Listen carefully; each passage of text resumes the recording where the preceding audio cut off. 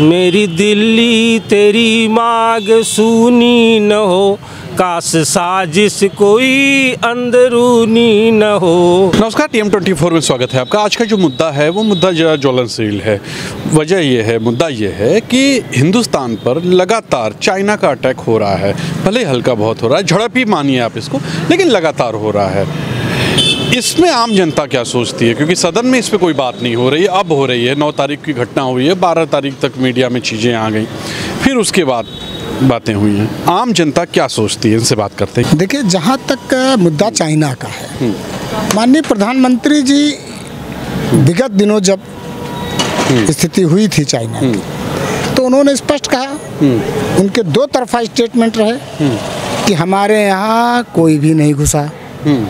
फिर कह रहे हैं कि यहाँ तक घुसा है तो ये जो दो स्टेटमेंट हैं ट्वेल्व स्टेटमेंट यह उनकी पॉलिसी को अपने आप में प्रत्यक्ष कर रहे हैं कि हमारी पॉलिसी क्या है चाइना को लेकर दूसरी चीज़ ये कि आम जनमानस से कहा जाता है कि चाइना के सामान का बहिष्कार करो चीन की चीज़ों का बहिष्कार करो। तो योगा जब होता है तो योगा में जो चटाइयाँ बिछाई जाती हैं जो बैठने का आसन है वह जरा पूछिए उस पर कितने का आया? और वो कहाँ से इम्पोर्ट हुई चटाइयाँ? वो आसन कहाँ से आया? तो तो चाइना ही के था ना। अच्छा आप क्या लगता है? क्यों नहीं ये बातें उठ रही हैं प्रधानमंत्री की तरफ़ से? क्योंकि विपक्ष लगातार बोल रहा है उसके बयान आ गए हैं वो ओवैसी के भी आ गए हैं कि इस पे चुप्पी साधे हुए हैं लोग। मीडिया की ओर से बातें सामने आई कि एक झड़प हुई है जिसमें चोटें लगी हैं।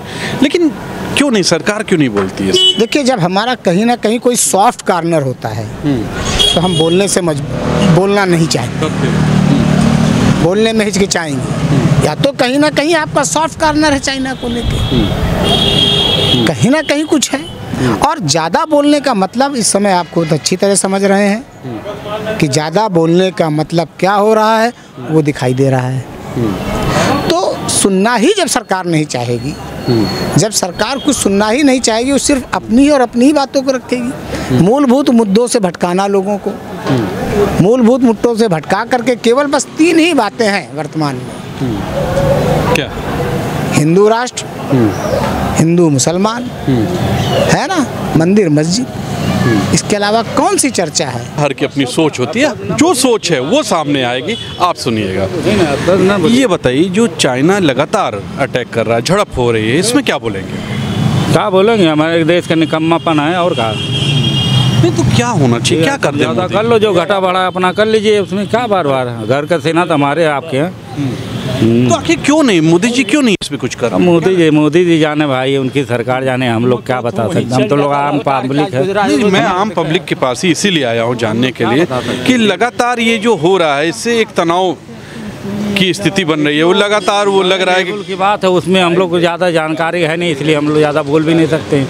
नहीं चल सकता। आपको सबसे पहले बता दें कि ये जो सीमा है ये पाकिस्तान और इंडिया की तरह सीमा नहीं है। यहाँ बंदूक लेकर लोग खड़े नहीं होते एक समझौता है। इसलिए लोग खाली हाथ होते हैं। इसीलिए जब भी झड़प होती है तो आपने जैसे गली मोहल्ले की स्थितियाँ देखी होंगी हाथापाई होती ऐसी होती। तो ये हाथापाई लगातार हो रही है। तो मैं आम जनता से मिलने आया हूँ बात करने इसीलिए कि वो क्या सोचते हैं क्या सोचते हैं आप? ऐसा ये बेसिक प्रकरण है, इसमें अलग अलग देशों का दबाव रहता है। चाइना जो है, कुछ ऐसी हरकतें कर चुका है। अब वो ध्यान भटकाने के लिए कभी कोविड का मामला उसने फैलाया, पूरे विश्व में बदनाम हुआ। आज वो अगल बगल की सीमाओं में कुछ ना कुछ करता रहता है। सबसे करीबी सीमा जो है, भारत की है। भारत को डिस्टर्ब करके बांग्लादेशियों को संरक्षण दे के इधर एंट्री कराना चाहता है। नहीं इंडिया सरकार क्यों नहीं कुछ स्टेप ले रही है? इंडिया सरकार स्टेप ले रही है। अब उन्होंने विरोध किया। हमारे जो सैनिक हैं वो जितना लड़ सकते थे उन्होंने विपक्ष लगातार बोला है कि उसमें चुप चुप्पी साधे हुए लोग सदन में। नहीं नहीं अब जैसे जहाँ हाथापाई तक का मामला है वहाँ हम तोप नहीं चला सकते। कुछ अंतर्राष्ट्रीय जो मानक हैं उनको ध्यान में रखते हुए हमको अपनी मर्यादाओं को विश्व स्तर पे भी देखना है। तो एकदम अचानक आप ये कहें कि हम चाइना को उड़ा देंगे तो ऐसा नहीं होगा। कुछ नियम है, कुछ कानून है सेनाओं के। उन नियम के तहत भारत सरकार साल भी हुआ इस साल भी हुआ। तो एक जनता में एक इमेज बहुत इंडिया की अलग बन रही है कि सरकार कुछ नहीं कर ऐसा कुछ नहीं ऐसा आप लोगों को लगता होगा। अब कोई अगर हमारा पड़ोसी है अगर वो हमारी तरफ़ बढ़ेगा सहिष्णुता के साथ बढ़ेगा सद्भाव से बढ़ेगा तो हम उस हिसाब से उससे बात करेंगे। अगर कोई मान लिया ईटा पत्थर फेंक रहा तो उसको प्राथमिक दृश्य से रोकने के लिए हम भी ईटा पत्थर फेंकेंगे हम भी हाथापाई करेंगे। ये बताइए लगातार जो अरुणाचल प्रदेश का तवांग जगह है वहाँ पे सुनने में आया कि उनकी सेना आ चुकी है गाँव बचा रही है सड़क बना रही है सब चीज़ें लगातार हो रही हैं। तो आम जनता क्या सोचती है? आम जनता को चाहे जो सोचे हमारी सेना इतनी है वो सक्षम है कि वो हिंदुस्तान को कुछ कर नहीं सकते। ये मैं वो नहीं कर सकते। हाँ बिल्कुल नहीं ऐसी स्थितियाँ क्यों आ रही हैं? ठीक है लगातार भाई दुश्मन है वो उनके पता नहीं उनके यहाँ गृह युद्ध होने जा रहा है। उनके यहाँ जनता बिल्कुल आक्रोश वहाँ लोकतंत्र नहीं है। डेमोक्रेसी हिंदुस्तान में कि तो यूरोप कंट्री में है। चाइना रसिया में तो लोकतंत्र है नहीं। तो वो उनके यहाँ गृहयुद्ध हो रहा है। और उसको दबाने के लिए वो इधर उधर भटकाते हैं। कभी वो अपनी जनता को दिखाने के लिए करते दिखाने के लिए। लेकिन लेकिन हमारी जनता जो है इसको दिखाने के लिए हमारे मोदी जी प्रधानमंत्री को भी कुछ करना चाहिए। जी बहुत कर रहे हैं ऐसा नहीं है। सेना लगी हुई हमारी सेना मुस्तैद थी तबे तो उनको भेज दिया? और याद है जब भी जब भी हाथापाई होगी तो हमारी सेना भारी होगी क्योंकि हमारी सेना काफ़ी लंबी है उनके कद काठी काफ़ी बड़ा है उनका छोटा है बिल्कुल। लेकिन फिर भी एक इमेज खराब हो रही कि नहीं? नहीं वो इमेज कोई नहीं देखे डॉक्टर मनमोहन सिंह जब थे तो नथुला वाले पे हुआ था सेना ने खदेड़ दिया। डॉक्टर मनमोहन सिंह जब थे तो फिर चले गए वो लोग। इसके बाद अभी बीच में फिर किए फिर चले जाएँगे। वो तो सीमा पे किसी न किसी तरह वो डिस्टर्ब करना चाहते हैं। अच्छा ये बताइए इनसे बात कर। ए, कहा जा रहा है कि ए, हमारी सरकार को सर्जिकल स्ट्राइक करना चाहिए। कितना सही? है सर्जिकल स्ट्राइक करना मूर्खता है। और ऐसा नहीं करना चाहिए क्योंकि जो बातचीत से जो बात सुलह बातचीत तो हो नहीं पा रही है। बातचीत बिल्कुल हो रही है और कूटनीति में हमारा देश इतनी समय पूर्ण रूप से बहुत अच्छा कार्य कर रहा है। जिसमें कि पूरे देश को बचाते हुए और देश को प्रगति कराते हुए हमारे माननीय प्रधानमंत्री जो कर रहे हैं वो बहुत ही अच्छा कर रहे हैं। साथ हमारी सेना इतनी अच्छी अच्छा काम कर रही है जिस भी स्थिति में सेना की तो तारीफ़ करनी होगी बिल्कुल तारीफ़। लेकिन कहीं ना कहीं विपक्ष ही नहीं कहीं मैंने बात किया लोगों का कहना है कि मोदी जी प्रधानमंत्री इस पर चुप्पी साधे हैं। सुनिए हाँ। आप चुप्पी कोई नहीं चुप्पी साधा है। हमारे प्रधानमंत्री इस पर मुस्तैद हैं और हरदम इस पर ध्यान है उनका ध्यान केंद्रित है। एक पंक्ति हम आपको सुना देते हैं। मेरी दिल्ली तेरी मांग सुनी न हो, काश साजिश कोई अंदरूनी न हो। नाग हो तो नाग हो तो रहो आँख के सामने। सांप कोई आस्तीनी न हो, मेरी दिल्ली तेरी मांग सुनी न हो। काश साजिश कोई अंदरूनी न हो। तो मैं अपना बात यहीं पर देखिए, सड़क बनाना या डेवलपमेंट करना, ये कोई अपराध नहीं है, ना ये कुछ ही का दूसरे देश का। चाइना मेरे ए, मुल्क में आके करेगा। नहीं वो नहीं। हाँ। हम करें। हमारे मुल्क में अगर कर रहा तो ये हमारी अपनी कमज़ोरी है। हाँ मैं यही बात मेरी एक हज़ार परसेंट कमज़ोरी है क्योंकि सेना को परमिशन नहीं है। पीछे साल तो मैं नहीं याद बता पाऊँगा पीछे कुछ सालों पहले दस बीस साल पहले परमिशन थी सब उस समय कोई भी हमला नहीं होता था। जब तक सेना को ये परमिशन नहीं दी जाएगी अगर वो बॉर्डर से ऊपर आ रहे हैं तो ऊपर से केंद्र से उनको परमिशन की ज़रूरत नहीं हो तत्काल अपने असलहों का इस्तेमाल करें। जब तक कि उन असलहों का इस्तेमाल नहीं करेंगे तब तक ये सदैव होता रहेगा। आपकी सेना मरती रहेगी। उसको कोई नहीं रोक सकता। तो क्या प्रधानमंत्री को एक्शन लेना चाहिए नहीं लेना? भाई एक्शन हमारे आपके बस की बात तो है नहीं। ज़ाहिर सी बात इस पे प्रधानमंत्री जी को ही बोलना चाहिए। जब लगातार विपक्ष बोल रहा है कि इस, इस पे इस पे चुप्पी साधे हुए हैं प्रधानमंत्री। सभासद के एक विधायक के चुनाव के लिए हम लोग बोल सकते हो तो इस पे क्यों नहीं बोल रहे हैं? मैं उनका विरोध नहीं कर रहा हूँ। लेकिन ये उनकी ज़िम्मेदारी बनती है। क्यों नहीं बोल रहे हैं? आप एक एक चीज़ के लिए बोलते हो, इस पे क्यों नहीं बोल रहे हो आप? इस पे उनको तत्काल प्रभाव करना चाहिए कि हमला जिस तरीके से हमला किया है, उसी तरीके से हमला जवाब देना चाहिए। रक्षा मंत्री जी भी हमारे, वो, क्या नाम, विदेश मंत्री जी, नहीं विदेश मंत्री जी क्या कह रहे हैं कि वो जवाब दिया जाएगा। कब दिया जवाब दोगे? जब आपके घर के मार के चले जाएँगे तब? भाई, इससे पहले अभी देखिए उन लोगों ने तार में, लाठी में तार बाँध बाँध के मारा था। वो, हम ये नहीं कह रहे, मेरी सेना ने भी मारा, लेकिन मरे तो मेरे लोग भी। सेना का खाली मारी बॉर्डर में मरने के लिए तैयार है। नेता हमारे यहाँ मौज कर रहे हैं कोई भी नेता होता। है भले प्रधान भाई मैं नाम नहीं लूँ प्रधानमंत्री होना चाहिए। प्रधानमंत्री ये हो या कोई होता ये उसकी ज़िम्मेदारी बनती है। हाँ बताइए हमारा प्रधानमंत्री ऐसा है रात दिन जाग के हर चीज़ मेहनत कर रहा है। और दूसरी बात यह है कि जैसे जिस तरीके से टिप्पणी कर रहे हैं ये बात की तत्काल कोई चीज़ प्रभाव नहीं लिया जाता उसकी जाँच निकाली जाती है। युवा हैं ये जानते हैं बिल्कुल हाँ। उसकी जाँच निकाली जाती है कहाँ से फॉल्ट हुआ क्या हुआ है। वहाँ हमारा सैनिक लोग वहाँ पे खड़े हुए हैं डटे हुए हैं मेहनत कर रहे हैं हर चीज़ कहाँ से क्या हो रहा है? लेकिन इस भरत सरकार जिससे पहले थी अब ये भरत सरकार नहीं है। यहाँ पर मोदी जी जब तक रहेंगे तब तक हम लोग देशवासी लोग सुरक्षित रहेंगे।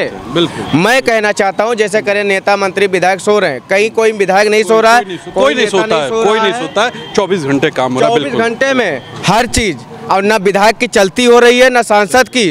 गरीबों के साथ अन्याय होते देखने नहीं बर्दाश्त हो रहा है। उसके लिए कार्रवाई तुरंत हो रही है। यही चीज़ सपा सरकार थी यही चीज़ कांग्रेस थी उनके विधायक फ़ोन करते थे विधालो मैं विधायक बोल रहा हूँ फलाना है फलाने देख लेना। जी सर जी सर आज इस सरकार में आज इस सरकार में कानून का राज बढ़िया चल रहा है ठीक ठाक चल रहा है। इससे पहले आप देख लीजिए बिल्कुल सुधार बिल्कुल बिल्कुल बहुत अच्छे बहुत अच्छे। क्या नाम है आपका? विनय सिंह नाम है विनय सिंह विनय सिंह जी ने एकदम खुल के बात कही है कि मोदी सरकार बहुत अच्छा काम कर रही है और इनको खाली बदनाम किया जाता है। क्या नाम है आपका? अब्दुल करीम। करीम साहब लगातार हिंदुस्तान पे हमले हो रहे हैं। इसको कह सकते हैं झड़प हो रही है चाइना की तरफ़ से।